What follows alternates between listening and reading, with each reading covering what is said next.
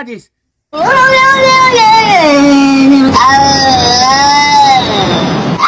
Today. Oh my god, what is that?